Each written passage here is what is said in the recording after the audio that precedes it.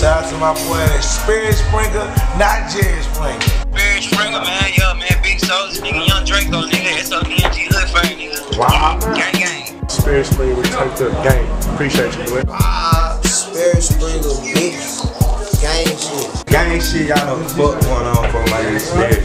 Motherfucking Sperry Springer, you understand me? Hey, this shit bigger than us, nigga. Nah, like this shit is God. Like I didn't really have it planned at first. I was just playing around, Yeah. trials and errors, seeing what worked, seeing what didn't work.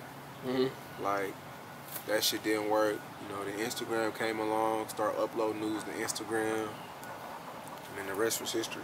Is that just on as me as a person behind the scenes? Or would you say that to rappers and shit too? So I say that to anybody who wants to be something that wants support, you got to make people feel left out. Cause when people feel like they have you figured out and they feel like they know your every move, Uh huh.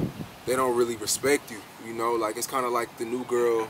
like you could have five bad excuse. You could have five um, attractive women in your classroom, but when a new girl come in the classroom, everybody's gonna look at her because she's new. You Yeah. know what I'm saying? So it's just like one of the things to where when you see somebody every day, you don't really respect where they. You don't really respect them. Like you don't appreciate them. I'm not gonna say respect, but you don't appreciate people that you see every day because you see them every day. You know what I'm saying? But um, yeah, so you just kind of gotta like let people thirst over you, or let just become a mystery to people. Like that's how you really get real support. Like I used to tell Kaash Paige, she used to be at all the kickbacks. Like, why are you at the kickbacks? If I can see you at the kickback for free, why would I come see you at your show? Wow. So it was like you just kind of gotta like be out of out of sight, out of not out of mind, but just you just gotta like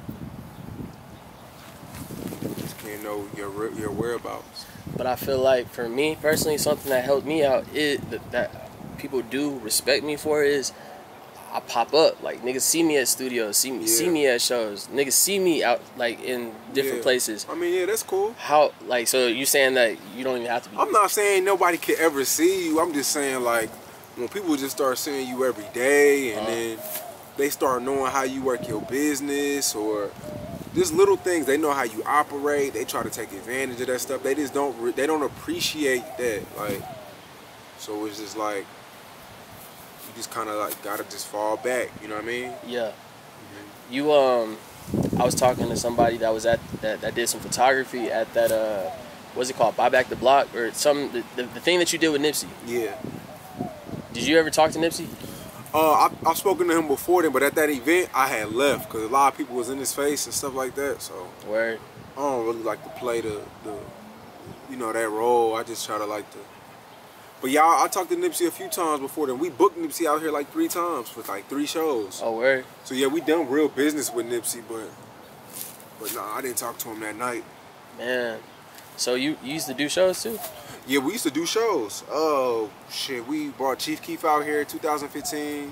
Which one? The What, one what, at the what was Gas? Monkey Live. I was at that hole. Yeah, we made like 30 bands that night.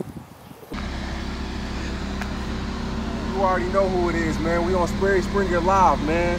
One of the greatest to ever do this shit in the DFW, man. You already know what's going on. Hey man, that's that, that's that nigga man.